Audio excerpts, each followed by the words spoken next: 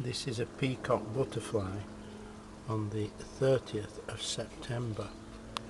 And it's an absolute beautiful specimen at this time of the year. It's not ragged at all. Hope you like this. It's been sitting on a buddleia bush and just moved off.